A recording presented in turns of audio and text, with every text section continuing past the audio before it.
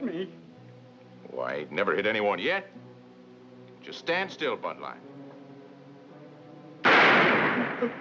That's enough. You, you've proved you can do it. I gotta draw a picture of the famous Ned Buntline who wrote all them storybooks about Western heroes. But you don't have to aim so close. Well, I gotta draw an accurate picture. Now, hold your head where it was. No, no, a little bit to the left. There. Now I can finish your head. You're gonna finish me. Well, if you live, you can put it in a book.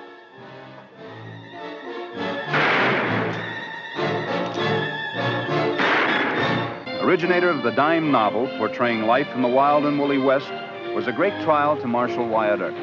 Every time the author left New York to gather material for a new book, he expected Wyatt to cooperate with his fantastic ideas. But when Wyatt moved from Dodge City to Tombstone, he thought he had gotten rid of Buntline. Alas, alas. Well, Spencer, there you are, Tombstone, wickedest town in the West. Now, make a good sketch of it because we'll put it on the cover of my new book. It's very uh, colorful, Mr. Buntline. Colorful. I'll sell 250,000 copies of the first edition. oh, and wait until you meet my special friend, Marshal Wyatt Earp. Yes, sir. King of the frontier, that's what I called him. And that book sold 500,000 copies, not counting the English rights. Wyatt Earp, he's a gold mine. I'll bet he's still wearing that Buntline special coat I gave him.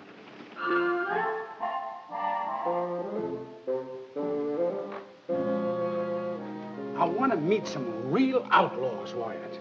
My opposition is cleaning up with books on the on the James boys and Sam Bass and Billy the Kid. Of course, it's the old Robin Hood legend brought up to date. But my readers, they, they want outlaws too. Some gallant band that takes from the rich and gives to the poor. That's the kind of. What's the matter? Well, Mr. Buntline, I've never met any outlaws like that. Well, what about the Clanton gang? No, Mr. Buntline. But you do know them, don't you, Wyatt? Oh, yeah, yeah, I know him. We're in luck. He knows the Clantons. Now, Wyatt, all I want is an introduction. I'm sorry, Mr. Buntline, but if you'll take my advice, you won't go anywhere near them. But why? Because they're horse and cattle thieves, they rob stages, and they shoot men in the back. That's why. Uh, Well, now, maybe you're a little prejudiced, Wyatt. I mean, being a peace officer. Mr. Buntline, it just doesn't do me any good to try and argue with you. Now, the Clantons are dangerous, low-down hoodlums, but if you want to glorify them in a book, well, then that's your business. But maybe circumstances drove them into crime. Maybe some deep personal tragedy embittered them. Mr. Buntline, please. Marshal Earp knows his country. If the Clantons are dangerous. Uh, all right. All right, Spencer. Maybe you're right. Maybe I had better take the marshal's advice. Wyatt, how about having dinner with us down at the hotel? Be glad to. Miss Nellie Cashman has the finest food in town. Oh, it's real warming to see you again, my friend. Well, it's wonderful to see you, too, Mr. Buntline. You know, that gun you gave me is, well, it's kind of been my right arm all these many years. Good. Well, Mr. Spencer, I uh, want to thank you for backing me up. The Clantons are no people to monkey around with. I'll see you later. All right.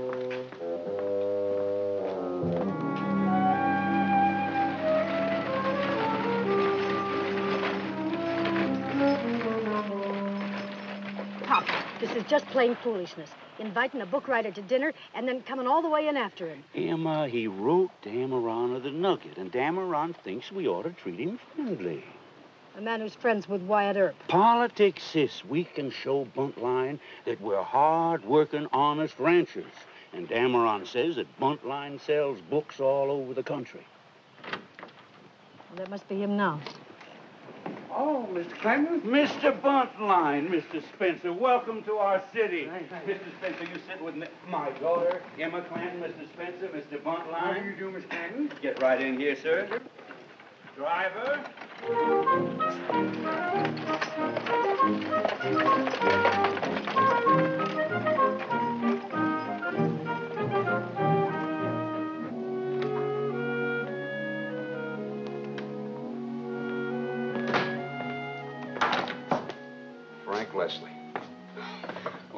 Mr. Leslie. I thought you were in Denver. Well, do you know me, Wyatt, a rolling stone. Yeah, I know you. He threatened to shoot a feller over in the Cosmopolitan. Oh, my joke went sour, Wyatt. I uh, dropped a lizard down a man's neck, and he didn't laugh. The feller had to laugh or he'd get shot. So the feller told me. Well, I guess I got a little carried away. Yeah, I guess you did get a little carried away. Well, if you'd checked your gun, you wouldn't have had that trouble. I'm going to have to hold you here for a while. Mr. Gibbs, you uh, put Mr. Leslie in a nice, clean cell all by himself. Would you like some coffee, Frank? Well, sure, Wyatt. Drop in for a chat later, huh? I sure will. Well, they call him Buckskin Frank. One of the fastest men with a gun I've ever seen. Want to keep real friendly. Oh, we're pals, Wyatt. Hey, lead the way, friend. I don't know this jail. Well, right this way, friend.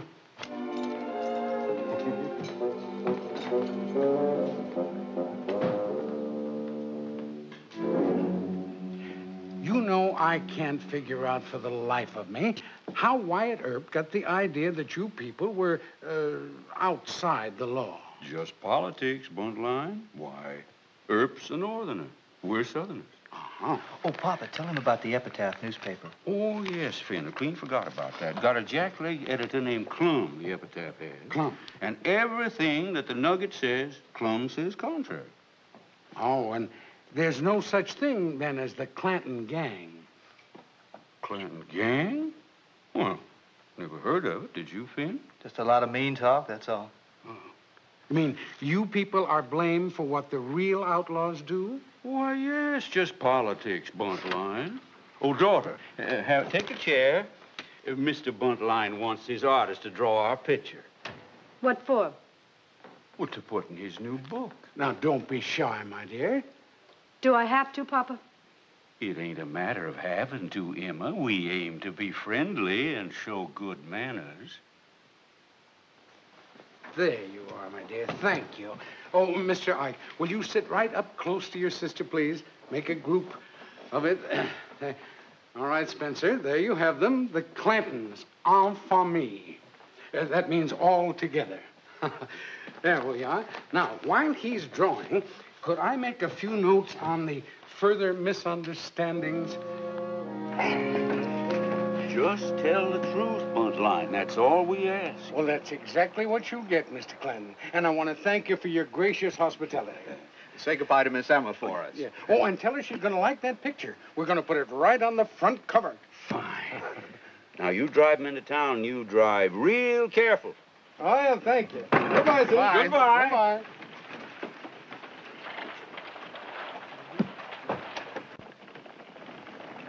Didn't believe those people. Believe them? I didn't either. Are you, uh, are you going to call them outlaws in the book? Well, of course I am. Naturally, I'll, I'll mix in a little of the Robin Hood in their activities, but don't you see the book? The Clantons posing as respectable ranchers and engaging in all kinds of lawlessness. I, don't think they'll like that, Mr. Buntline. Yeah, but my readers will. Unless I'm very wrong, they're, uh, they're violent people, the Clantons. Well, of course they are. But you don't think they're going to come to New York to shoot me, do you? Well, I, Oh, now, Spencer, buck up. Did you ever hear of a writer getting shot for what he wrote or, or an artist for what he drew? And we're going to make liars out of those other writers because Ned Buntline actually visited the Clanton outlaws. it's a beautiful country around here, isn't it? Never did understand you, Wyatt. Here I am, a gambler and gunfighter, and we always got along, though. How come? Well, for one thing, you never fight unless you have to, and uh, Oh, I'm sorry. I'll, uh, I'll come back when you're not busy. No, he's not busy, man. I'll just take my gun belt, mosey. Hmm? My gun belt. there you are, Mr. Leslie. Thanks again, Wyatt. All yours, man.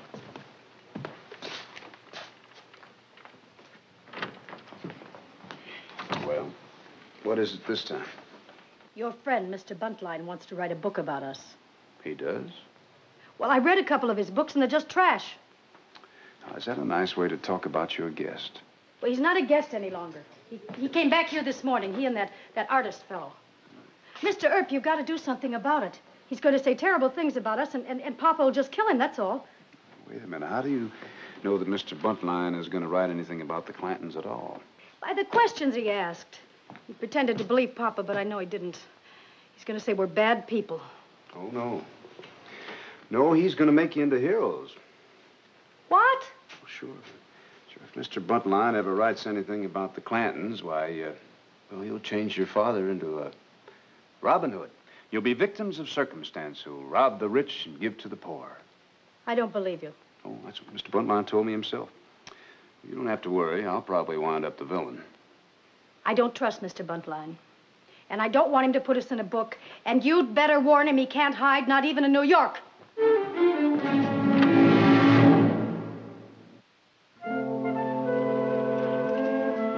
The doggonedest fool things that Buntline has ever done. Now, you and I know outlaws, Mr. Leslie. Have you ever heard of one of our hoodlums that robbed the rich to give to the poor? No. No, neither have I. Well, I can't stop him from putting nobility into his outlaws, but what do you reckon Clanton will do if Buntline ever publishes that book? Why, he'd kill the fool, serve him right, too. Well, I'd rather have him educated. Would how? Well, now, I wonder just what would happen if uh, Mr. Buntline was kidnapped by Buckskin Frank Leslie and his gang of lawless hoodlums. Oh, that sounds like fun, Wyatt. Well, give me the rest of the joke. Well, I want to just show them how ornery hoodlums can really be. That is, if you can get some boys to go along with it. Oh, yes, I think I can. oh,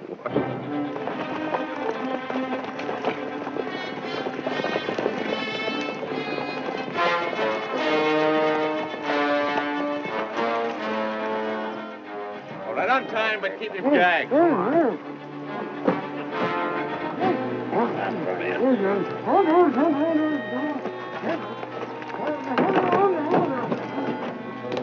Search him. Is his? Look at this gold watch. It's got a ring. Stick out your hand. Hey, boss. There's a big diamond in this ring. Look here. Benny. I want four of you on guard at all times. You see any Wells Fargo men or Pinkertons, you give me the word. We gotta get rid of him. Yeah, boss. And that means hiding the body before we lie it out. Now, you understand? Yes, sir. Do you want that gag pulled tighter? Now, you just sit down there. While I count your money.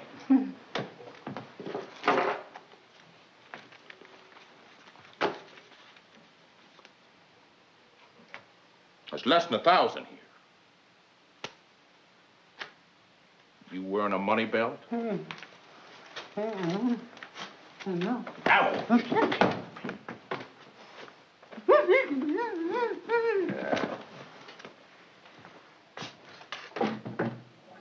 Hey, Benny. Yeah, boss? Tell Deadwin to bring in them bank sacks. All of them? Everything.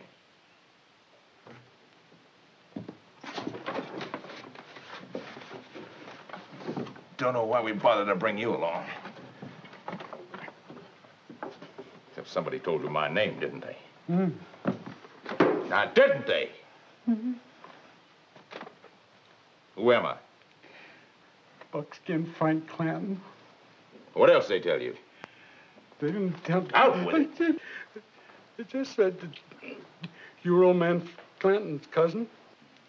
May I have a glass of water, please? When I get around to it. We whacking it up here, Frank? I ain't decided yet. This fat fool's less than a thousand on him. Can he identify you? He can. Worse luck for him. Oh, no, I, I can't identify you, Mr. Clanton. You were just pointed out to me on Allen Street, and, and I couldn't. Got it. Nobody knows me as a Clanton. Yeah, he could tie in with the old man Clanton.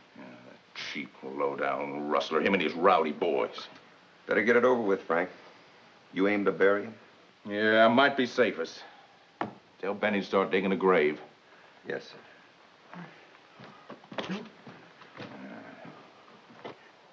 You apparently don't know who I am. You're a drummer, ain't you? My name is Ned Buntline. I'm the author of 56 novels. Storybooks? Like they sell on trains? And all over the world, sir. And furthermore, I am a close personal friend of Marshal Wyatt Earp. You must be getting mighty careless about his friends. Well, if any harm comes to me, he'll hunt you down. Sure. Now, we yanked you right out of Tombstone. Now, where was Earp? Well, he's heard about it by now, I assure you. Hey, boss. Deadwood said you was gonna bury him first. What about it? There ain't no time. We ain't far enough away, and besides, we still gotta whack up all that bank money. You talk too much. But, boss! Now, turn around and walk out that door. Go on. No, boss. No. No, boss. No. Oh! What?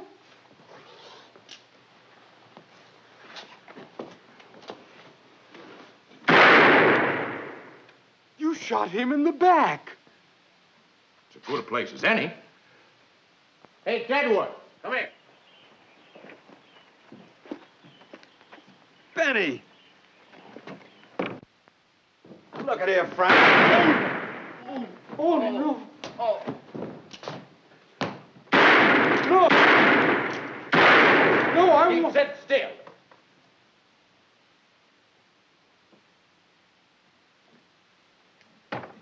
Sit tight. I'll be sending a committee of boys in to find out why I killed Benny and Deadwood. You must be mad. You're like a fox. I thought there was honor among thieves. Honor? Why, there's over $40,000 in them bags. Now, when the boys come in, now you just keep your mouth shut, you understand?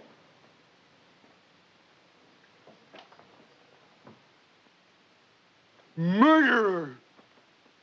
We better push along, Wyatt. I got the jitters. I don't trust that buckskin Frank. Mr. Gibbs, you just don't understand practical jokers. Mr. Leslie's having the time of his life. Yeah, but you told me that Buntline was right spunky. He just might get some of them fellers sore at him. Yeah. Come on. Now, there are two of us in here, Tex. And five out there. Now, ain't a two-way cut better than splitting it up seven ways? Yeah. But what about him? He'd be a witness. Well, I got plans for him. What plans? Well, see, now, he's a rich writing fella. We'll take him into Tucson and make him wire New York for $20,000. And if he don't, he won't give us no trouble, will you, Buntline? Will you promise not to kill those men outside? Well, now, why shouldn't we kill him? Well, you don't kill your own pals in cold blood. Well, now, where did you ever hear a thing like that? I reckon a fella's got to be that way, though, to write a book. Well, we better get at it, Tex. You're not. Now, you're you not... keep sitting right there.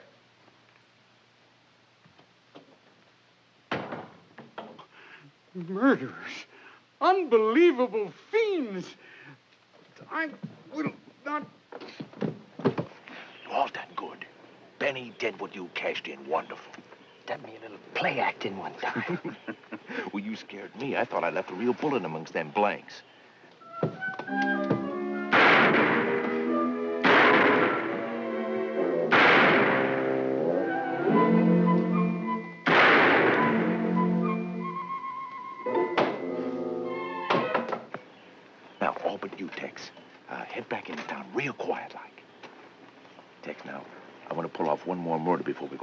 So don't rush it.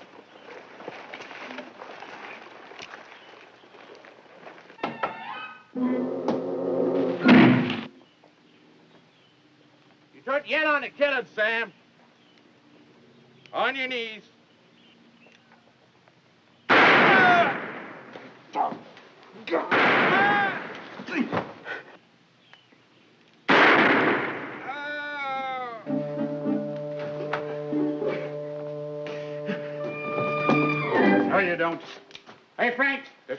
Fella's trying to run off.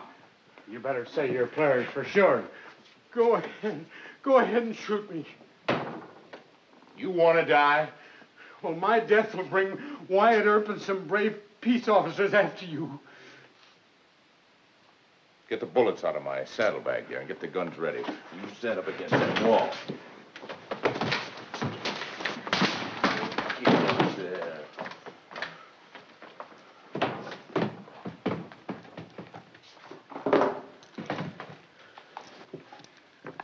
These ain't blank strength, they're real bullets. Shut up. I know what I'm doing.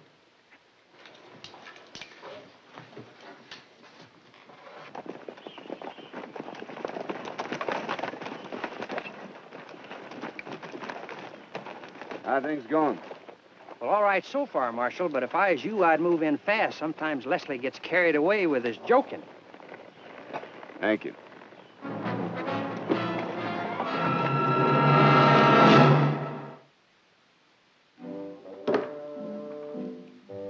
Now stand steady, your Buntline. How do you expect me to draw your picture with you flinching and moving? Get it over with. There's plenty of time. Move your head a little bit to the left. There. I want the rest of Glance to know how Buckskin Frank drawed your picture with bullets.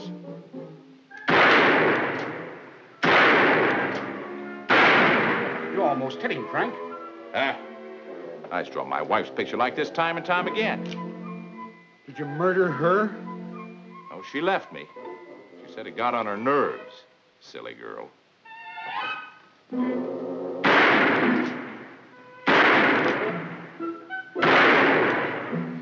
You notice the spacing of them bullets? You see any wobble in that line? Give me that other gun.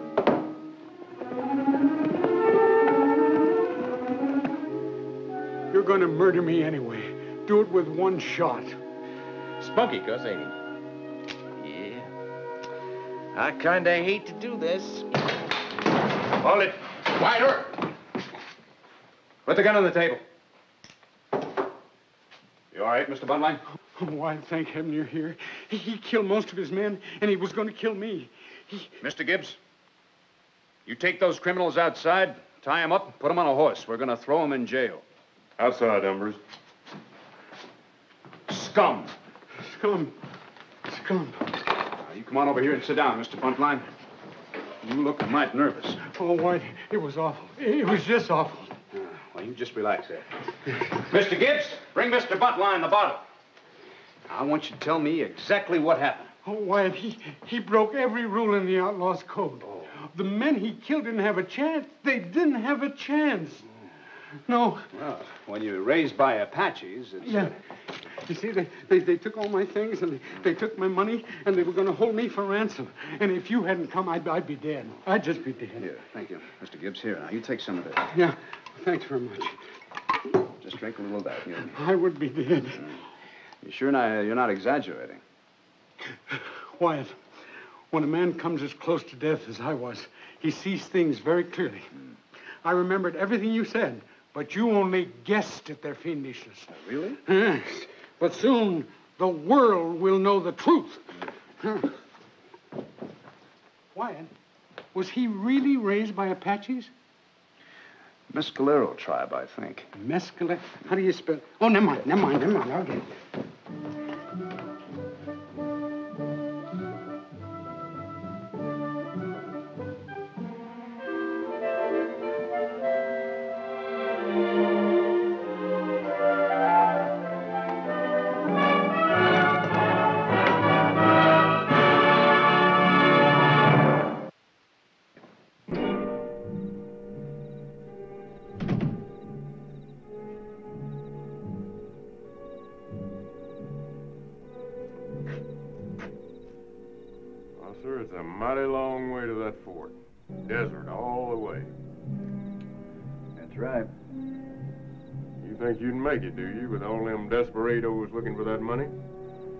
Try. Yeah. The bushwhackers don't get us, the Apaches will. Mr. Gibbs, you know, you don't have to go along.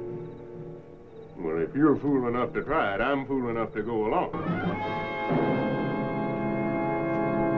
Wyatt Earp came to Arizona Territory, it was wild and raw. Civilization was represented by the city of Tucson, a few turbulent mining towns like Tombstone, and a scattering of army forts. Since the Apaches were a constant menace, travel was precarious, even for Wyatt Earp. 15,000? Well, that's what they say. The Army payroll. Some bloomin' major carrying it on the morning stage. 15,000 clams. Yes, sir. You want to make a bet them boxes don't get to where they're headed? You figure somebody will hold up that stage? Why, for two cents, I'd risk it myself.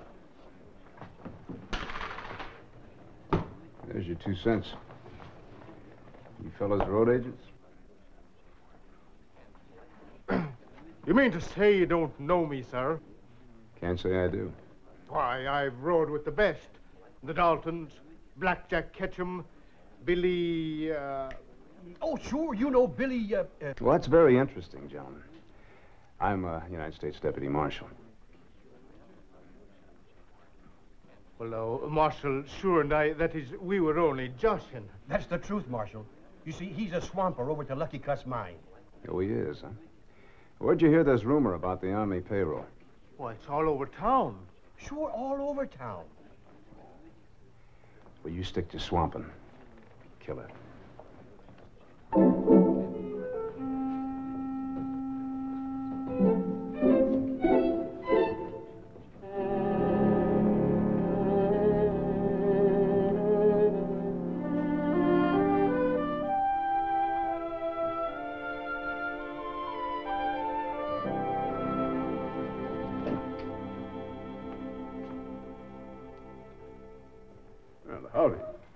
Major Fletcher, Army Paymaster. You Wyatt Earp? That's right, sir. Uh, glad to meet you, Earp. Heard about you.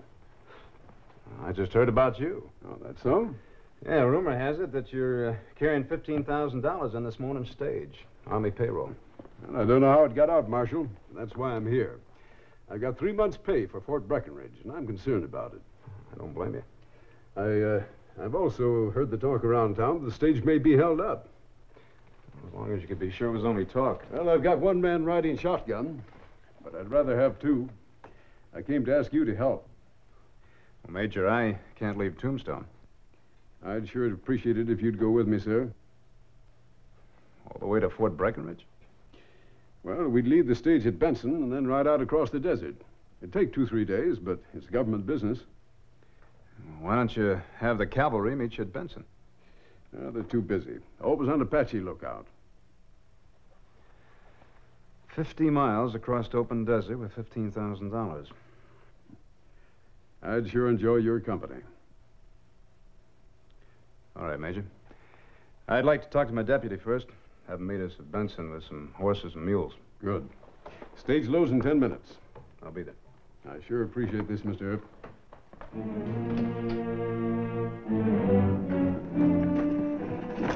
Glad you made it, Marshal. Here, wait a minute, wait a minute. I want those boxes hidden. You're only going to Benson, Major. The other baggage goes straight on through. I want those boxes in a safe place. Here, put them in the boot. Now I know how the word got out. Yeah? How? Major, it's one thing to be worried. It's another thing not to use caution. Uh, I guess I'm so used to transporting money, I, uh... Well, there I go again. I just don't remember. Maybe you better start. Too late for that.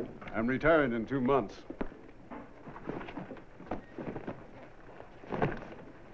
Who are the passengers? Well, the boy's going home to New Mexico.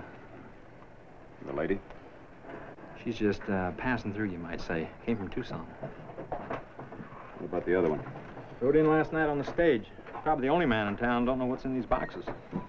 Ford!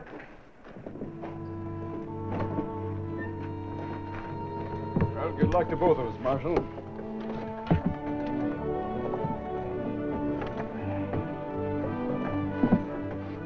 May I? Uh, sure.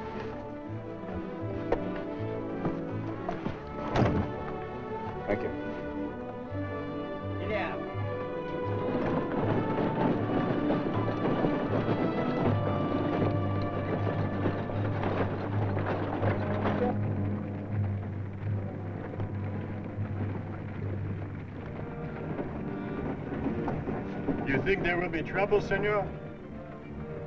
Might be. You carry a gun? No. What about you, sir? What's that to you? I want to find out how much we can count on if we're attacked. Defending government money is your job, not mine. That tells me what I want to know.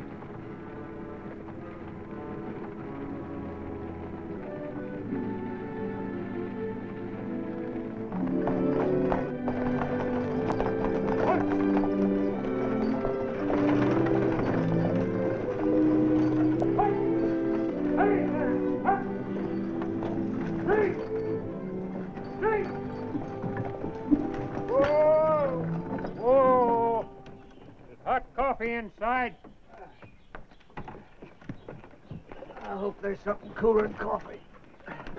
Or stronger.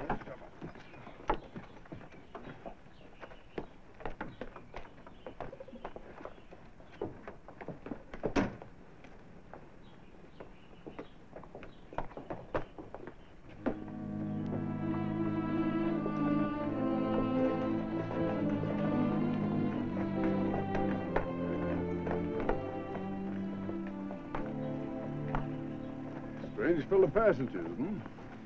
They're kind of typical. Not suspicious of any of them. I'm more worried about road agents. You don't seem to be very worried, though. Oh, I'm used to this.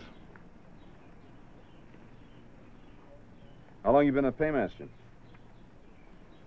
Almost ten years. Ten years. It's a long time for one assignment. The Army usually switches the officers around. I thought administration would lead to faster promotion. I was wrong. More coffee? No, thanks.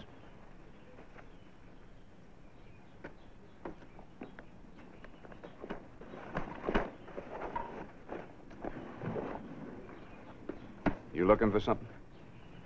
That's right, senor. In my own baggage. You think I am such a fool as to try to rob him here? Could be checking the baggage to make it easier later on. You accuse me of being a thief, senor? No? Don't. I will kill you. You told me you weren't armed. I tell you, I am no thief. I'm a stranger, see. A Mexican, see. And of a poor family. The Holy Mother knows how we could use that money. Only a little of it. But I do not steal. I believe you. Get what you want.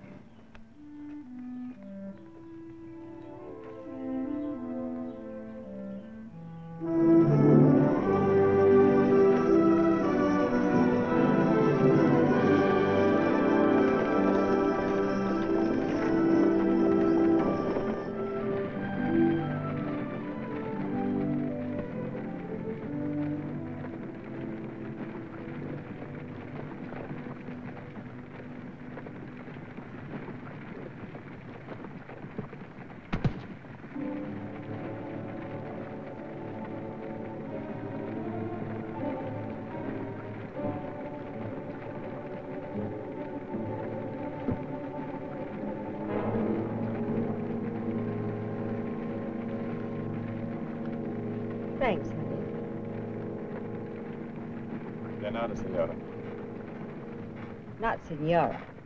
Senorita.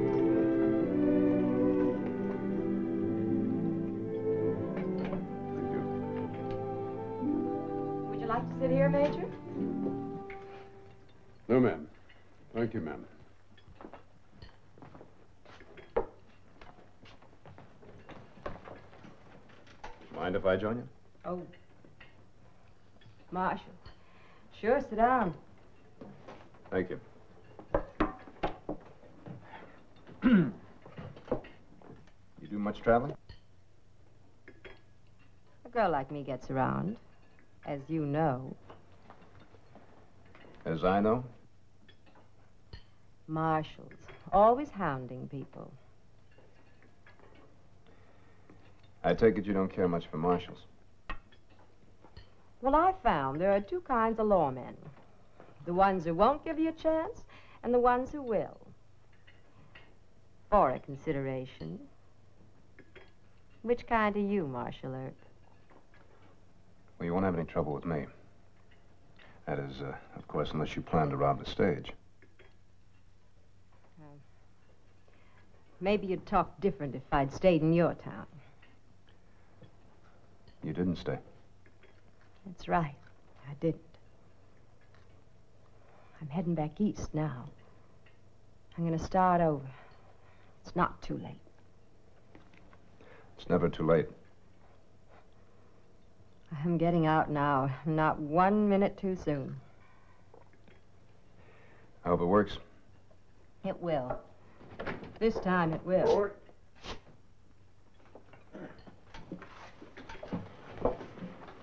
Starting our last stretch to Benson. Yes. Now or never. All right, Mr. Ketching, let's roll.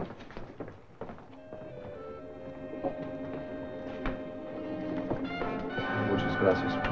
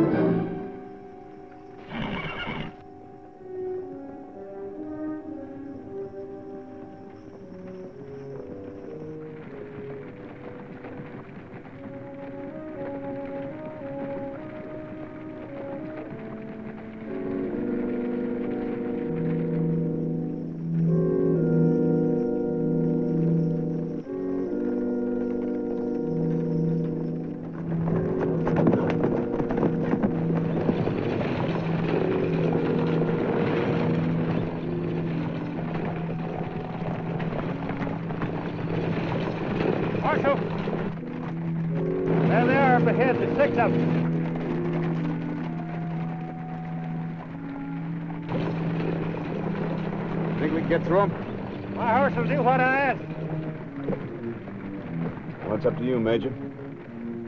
You want to give out that money or take a chance on somebody getting hurt? Did we make it? Maybe. There's six outlaws, and we've got four. Three guns. Don't worry about me. All right, make a run for it. All right. Surprise will be in our favor. All right, we're going to try and run through them. Just slow down, make them think we're going to stop. When I give you the word, give the horses their head. Yes, sir. Major, you take that side. Don't fire yet. Get down.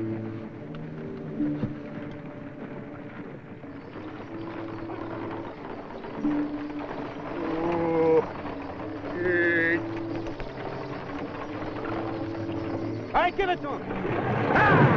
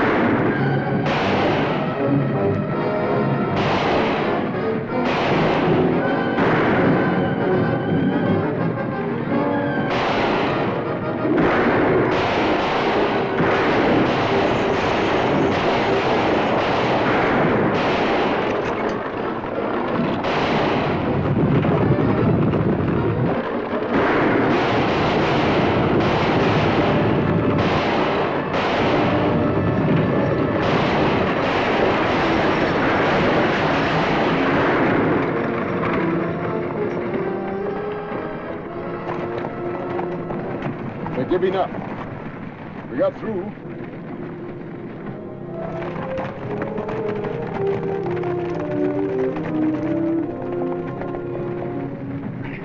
You all right? Sure, I'm fine.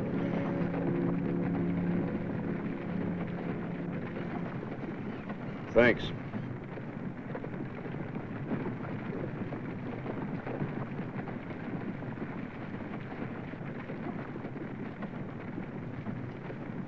How far are we from Benson? About an hour.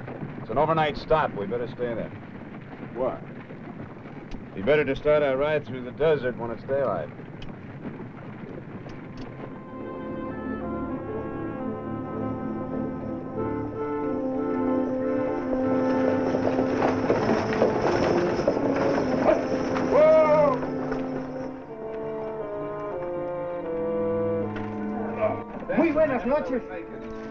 Pásenle, bienvenidos todos. Ya venían algo retardados, ¿eh?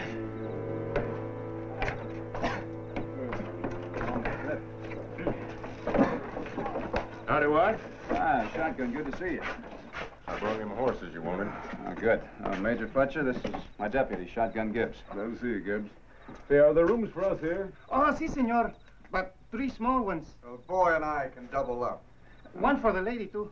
Major, you take the third one. Shotgun and I will make ourselves comfortable in the waiting room. All right. We'll put the boxes in my room. I'll sleep with them under my bed.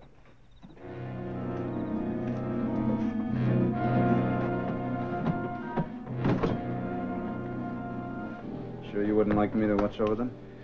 Oh, they'll be safe there. He'll be right outside the door. Well, I... They're my responsibility here. I'm the one who'd stand court-martial. Say you're, uh, two months from retirement? I said I was up for retirement in two months. Haven't decided about it yet. Retirement pay isn't much, you know. Of course, I'm alone. No family to support. Well, after all these years in the Army, you think you'd like being a civilian? I don't know. Why? Just wondered. Good night. Who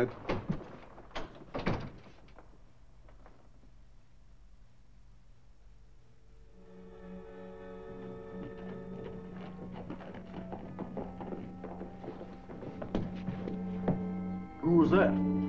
I don't know. Come on. Major Fletcher? Major Fletcher?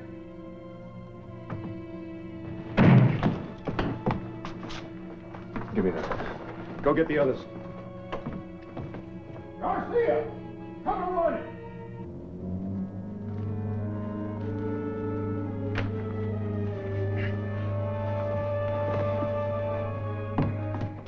What happened to him, White? I don't know. Must have come in the window and sandbagged the major in his sleep. You get the money? Yeah, both boxes. What happened? Where's Carp? His gun. He must have got up in the dark and slipped out his window. Yeah, slipped on that one. Hasn't got too much of a start. Let's go get him. Oh, wait a minute. You can't trail a man in the dark here. Wait till dawn. Give him two hours head start. ¿Qué, qué pasa? Give me my boots. Ay, esto nunca nos había pasado aquí antes. Ah, Venga, esto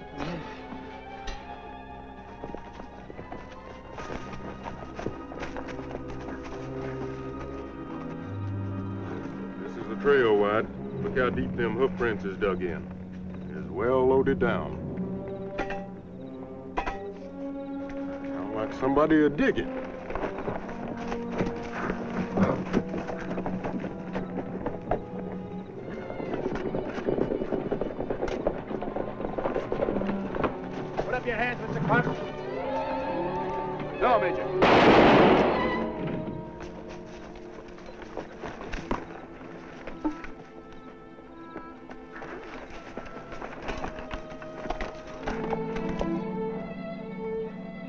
Well, He's dead. Why'd you shoot? He was going to surrender. I didn't think so. What are you worried about? He's a thief. They're the money boxes. Looks like he's aiming to bury him. Come back later. Lock's not broken. Give me a hand. We'll get him on a horse. We can get him back to the station before the stage leaves. Why don't you just bury him here and go on? We've got a good start to Fort Breckinridge. A man is dead, Major Fletcher. There are certain legalities that have to be attended to. Well, I... This happens to be my job. And I'll give the orders.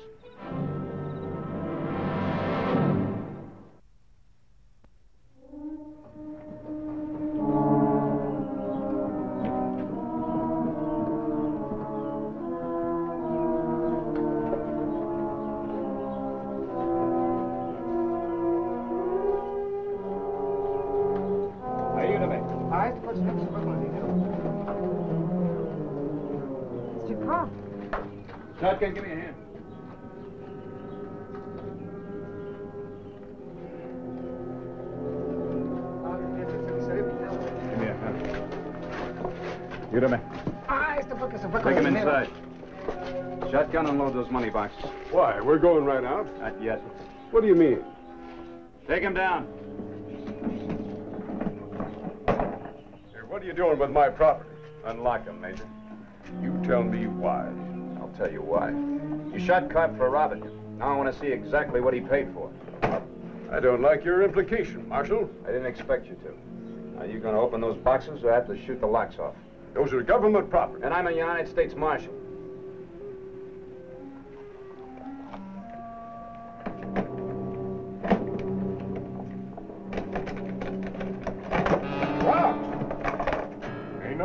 Rocks. Where's the money?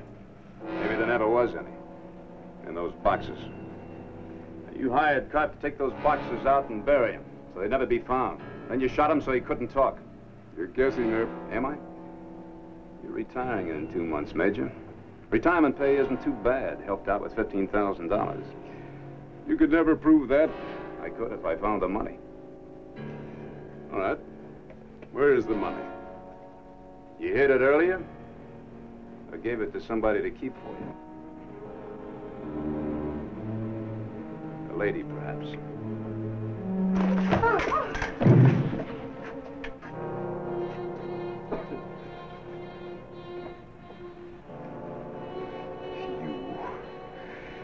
If it hadn't been for you, it would have been easy. Well, you're the one that asked me to come along, remember? That was to give you a perfect alibi, wasn't it? How'd you find out? A look, a word here and there. And Carp's mistake. He should have patted his horse's hooves. What about the money, Wyatt? I think you'll find it in Miss Crystal's baggage. Go take a look. I'm sorry, Carrie. That's all right, honey. It was only a dream, anyway. Tried. I wish you had tried something legal. I'm sorry, man.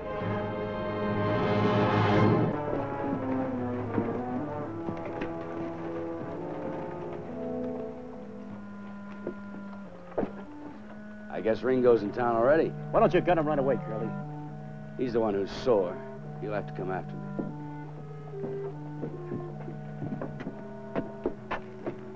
You sure you want to fight Curly Brocius now? Yeah. What a break for Wyatt. Ringo and Brocius, top guns for the Clanton outfit, gunning for each other. You don't figure they'll really shoot it out, do you, Doc? Mr. Gibbs, your naivete charms me. When two top gunfighters like Johnny and Curly have a falling out, it's just a matter of waiting. And while I'm waiting, I aim to get some bets down. Uh, who do you pick to win? It's a professional secret. You make your own bets.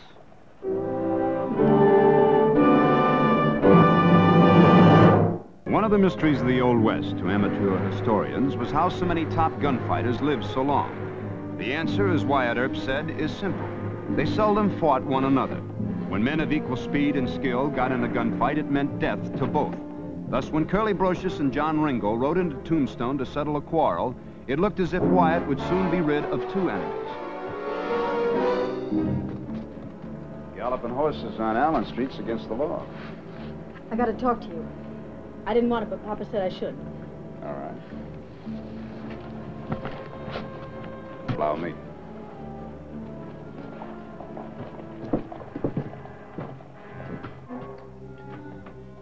Now, uh, let me get this straight. Brocius and Ringo are in town, and they're threatening to shoot each other, and your papa thinks that I ought to stop the fight?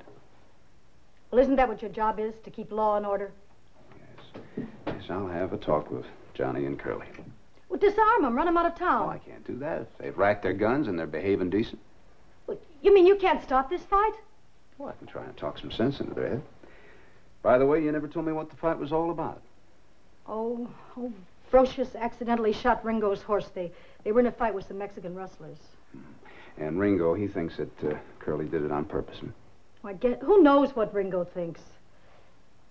Anyway, you better stop this fight, or the Nugget newspaper will have you fired.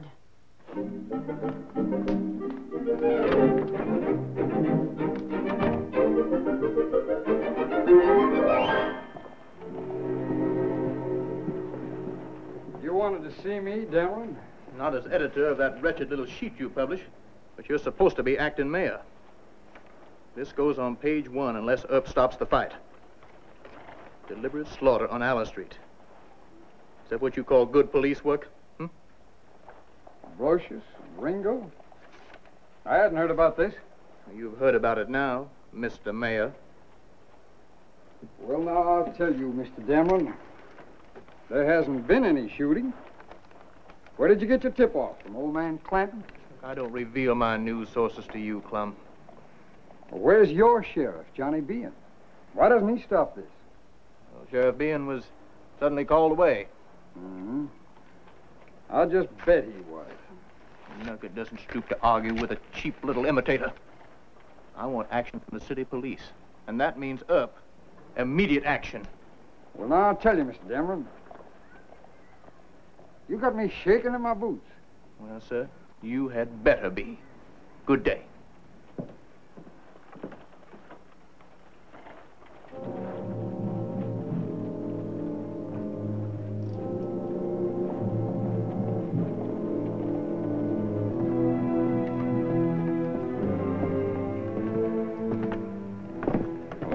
Clanton's got a lot of gall bringing his quarrels into Tombstone. I think Ringo and Brocius are on their own. Gunfighters usually like audiences. Well, then let them shoot it out, White. I wish I could. Dameron does have a point. No, let him holler. No, sir. It was just a quick brawl in the saloon and a shooting. I wouldn't be expected to do anything about it, but I have been warned about this. Townspeople expect me to do something. Yes, but. What? I'll have a talk with Ringo and Brocius. Oh, you stay out of it, Mr. Mayor. All right, White. White? Good luck. You see, Curly's at the Alhambra, talking fight.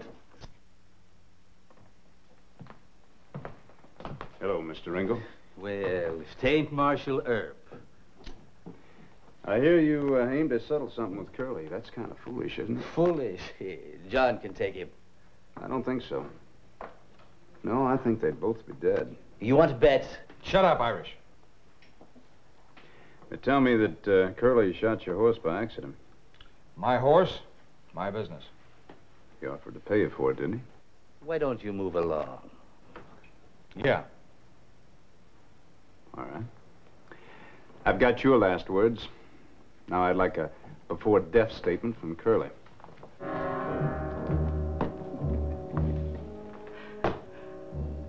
Was Earp trying to scare us?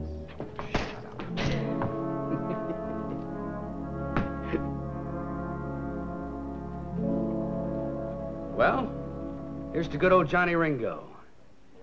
We've been pals a long time. But not now, Curly. I still can't believe it. Getting sore.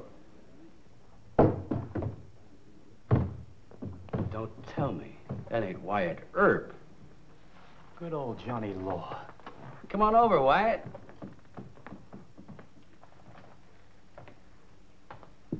Larkin, give Wyatt your chair. Sure, Curly.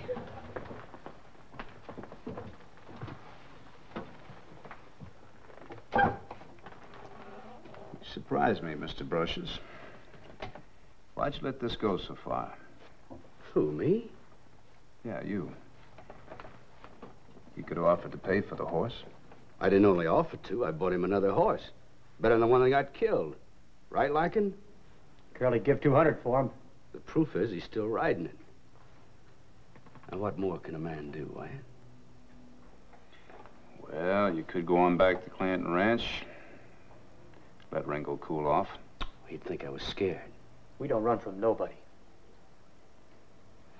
Well, it seems to me that the least you boys could do is take your fight outside of town. Now, why don't you and Ringo just shoot it out on the trail? Johnny don't want it that way. He said if he caught Curly and Tombstone, he'd gun him. You couldn't take that either, Wyatt. Man can't back down from a fight. We ain't scared of Ringo.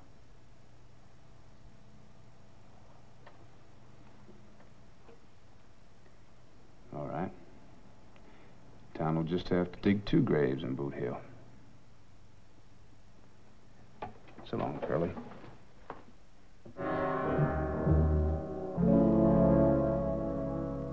Best bet I've seen in months. And you two men just sit there. Haven't you any imagination? Ringo versus Brocius. In a grudge fight with guns. Think of the amusing possibilities. All right, Doc, such as what? Even money they kill each other. Or two to one that Ringo kills Brocius, and I'll take that bet the other way. I'll bet ten to one that Ringo dies and Brocius is only wounded, and I'll take that bet the other way also. All right, gentlemen, get up your money. Well, what odds do you give on them not fighting at all? That's a very interesting thought. Very interesting. Doc. Right with you, Wyatt. Now, you two sportsmen stay right here. Don't leave.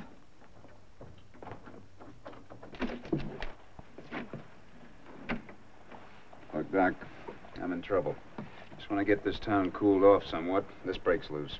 Now, we can't afford a showdown between Ringo and Brocius. You're a fool.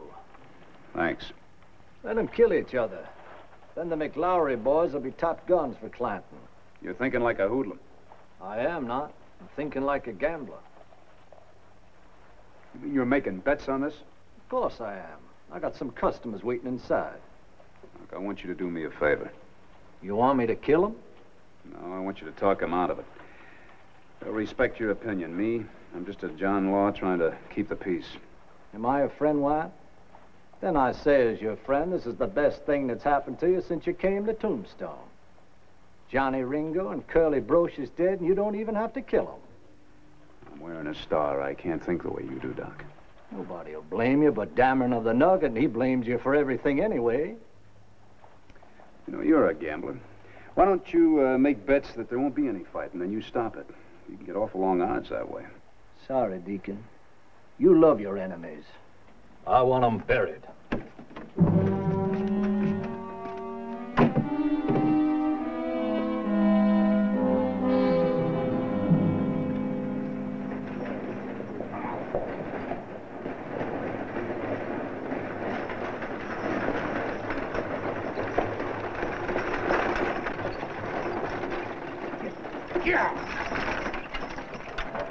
Emma said you promised to talk to Ringo and Brocius. I did talk to him. No luck? Then throw him in jail. I don't want this fight to happen. Nothing to arrest him for, Mr. Clanton. They checked their guns. They've created no disturbance. Yet. Where's Johnny Behan? Well, he uh, ducked out. Huh. Figured he would. Jed Spicer in town?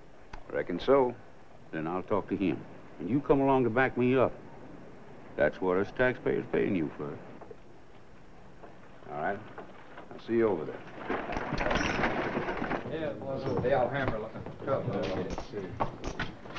How's he feeling, Irish? He's making up his mind, Joe. Sit at another table, boys, and leave Ringo alone. Bartender, bring us a bottle and some glasses. Howdy, boys. Come on over. Hello, Curly. Curly. Good to see you.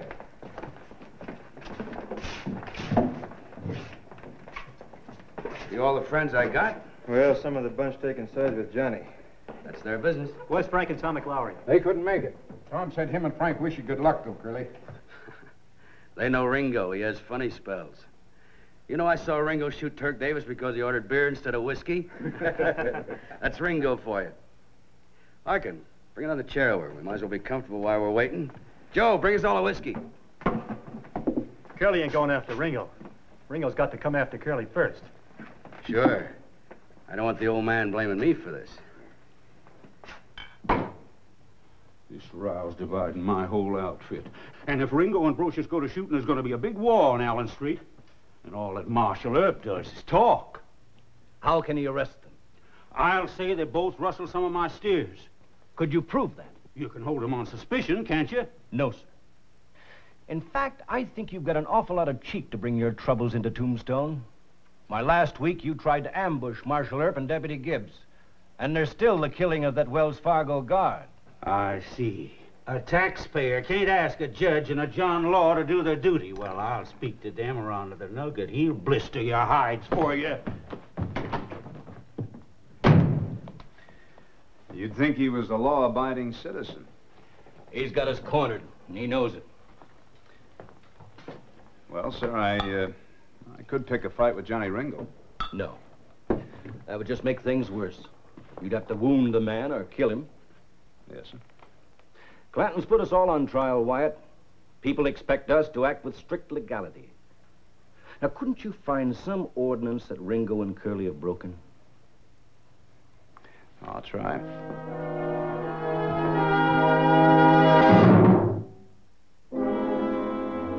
Hey, Ringo! Johnny Ringo! I want to talk to you. Curly wants me to explain something. Come on out, Ringo. It's that blabbermouth Larkin. Go out and see what he's up to. Yes, sir. Right away, Johnny.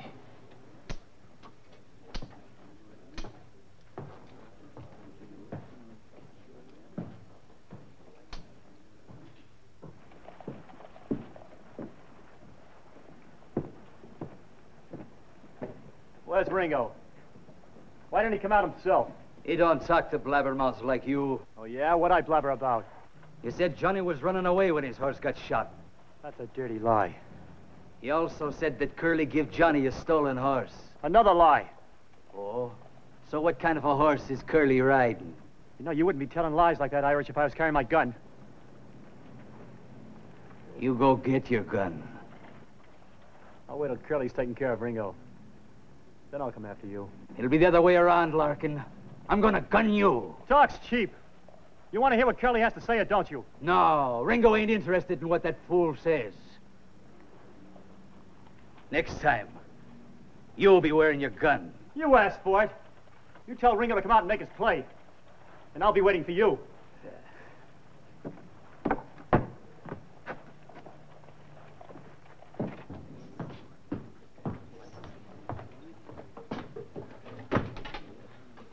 Brocius is waiting at the Alhambra. You'll have to go there after him. All right. Now? In a minute. Get me a drink. Sure, Johnny. Bartender. Whiskey.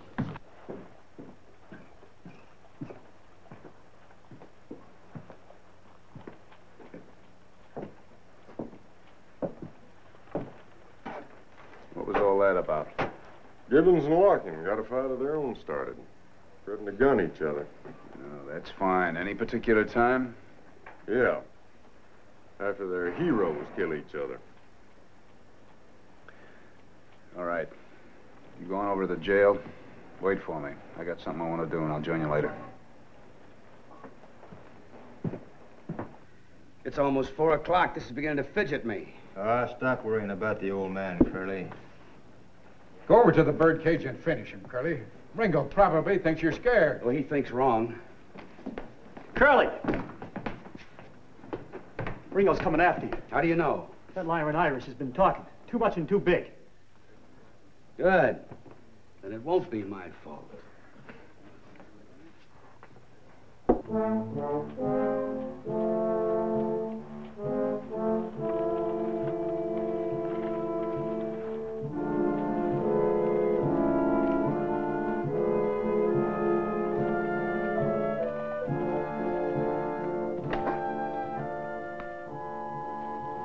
we can make a case to stop him. Yeah, how's that? Well, Curly's horse has got a mangled brand. Ringo's horse hasn't got a brand at all. They could be stolen. Yeah, they sure could be.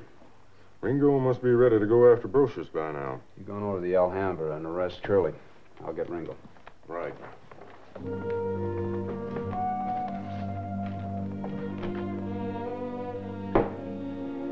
Irish, get my gun. Right away, Johnny.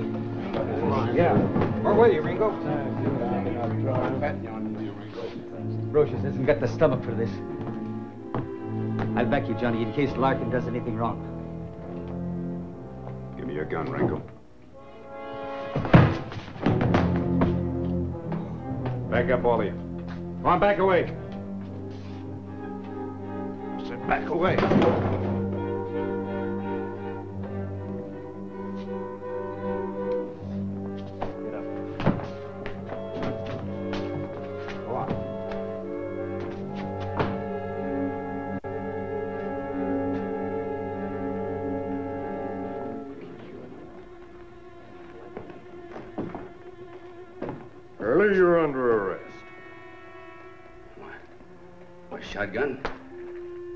Charge? I, I, well, I ain't wearing a gun. Don't none of the rest of you try a fool move. Get over here, Brocius. Get!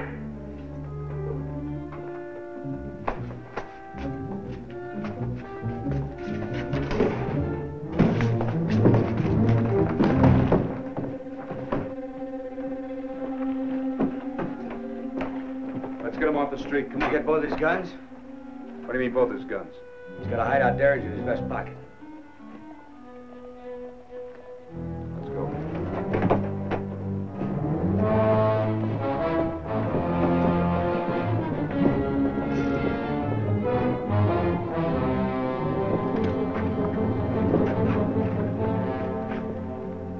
It was all Larkin's fault, Irish. Yeah, he got Ringo thrown into jail by blabbing too loud on the street. And I'll fix Larkin. I told him I would. With your mouth or with that 45? I'm gonna gun him down. Looks like he's after you. He threatened to kill me and called me a liar. I got witnesses. You don't need witnesses. Put on your gun belt.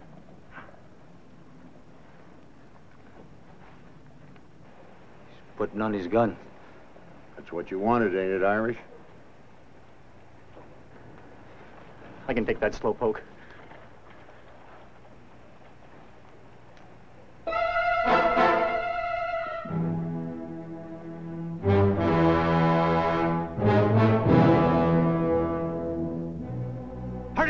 poke.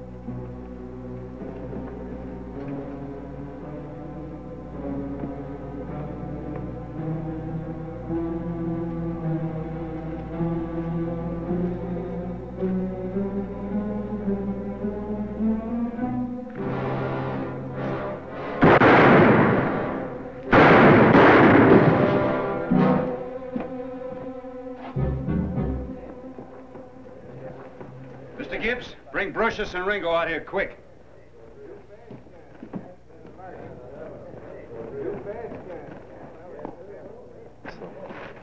That's Larkin, Marshal.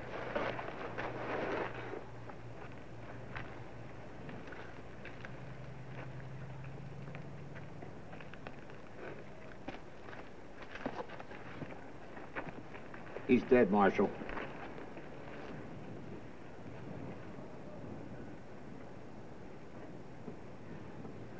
Mr. Gibbs, bring our two heroes over here. Aside, boy.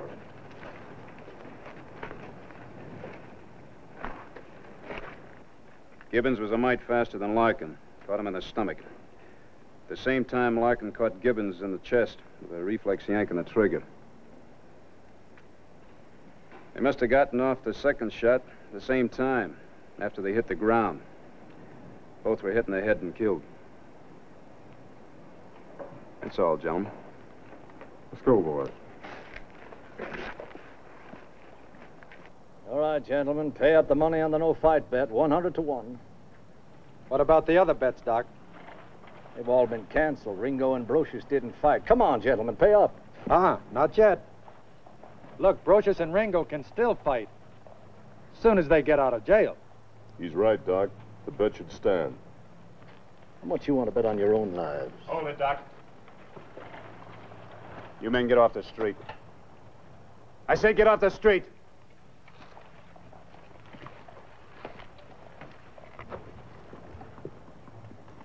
I may need your help. Both sides may start shooting again. Not until you turn Ringo and Brocius loose. I want to thank you, Wyatt, for arresting those two. I made the killing. Do you act serious for a minute? We'll try and get them out of town. Now? Is a powder keg. I figure if I can get Brocius and Ringo outside the city limits, Clanton Cowboys will go too. You're going to give Ringo and Brocius back their guns? Outside of town. Well, then I'll be very happy to tend to my assistance. I know what you're thinking, and you're wrong. We've had enough gunfighting for one day. Certainly, most certainly.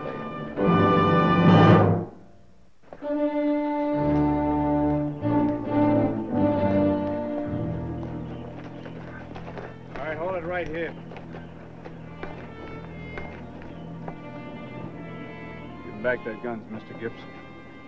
They still look mean and ornery to me, Wyatt. Got no legal right to withhold their weapons. You're the boss.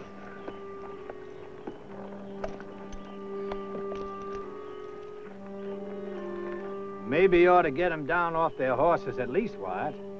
I got $6,500 bet on this. You hear that, Johnny? Doc's betting on our hides. You ain't so smart, Doc. We ain't fighting just to make you rich. Come on, Curly. Sure thing, Johnny.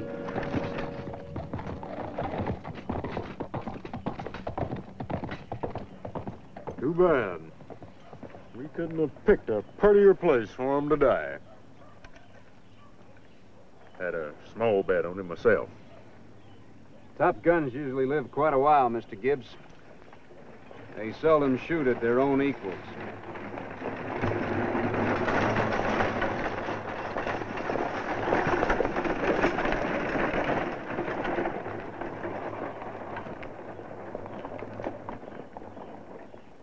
Two of our men get killed.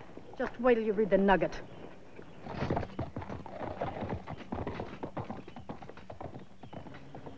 Deacon, you'll live to regret this. I already do.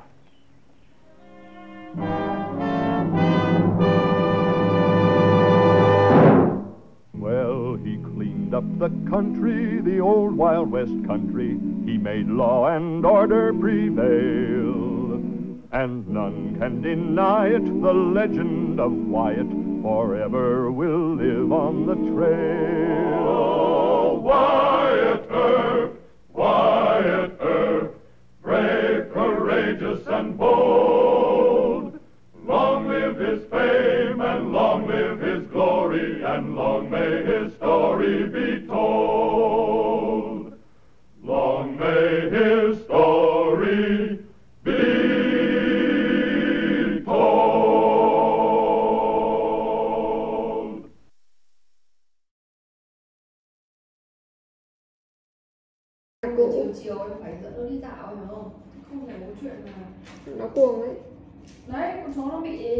Cuồng ấy.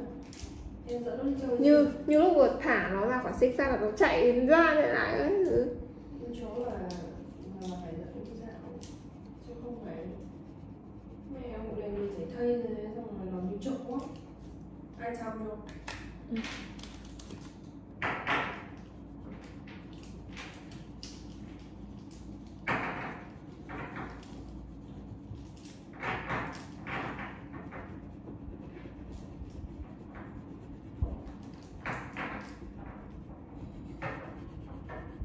nói chung là dự tính là như thế nhưng mà ờ, bác hồ thì vẫn không thấy đâu không thấy hồ sơ của bác hồ đâu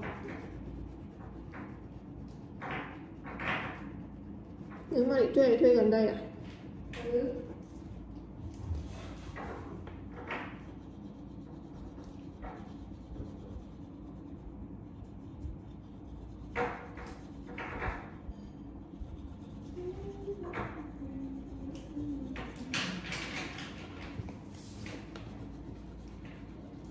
Trông anh ấy có vẻ nhớ nhung con mèo không thì chắc cũng ông chưa có nghĩa ấy mèo con chị chứ à thiết đúng không? Kiểu nuôi cũng được mà không nuôi cũng được. Thì tại vì ông chưa có đòi nuôi nhưng để chị đòi. Ừ, nhà chị nuôi con đấy lâu chưa Ơ, tính ra phải đầu tầm 2 năm rồi đấy. Ui hai năm cả. Ừ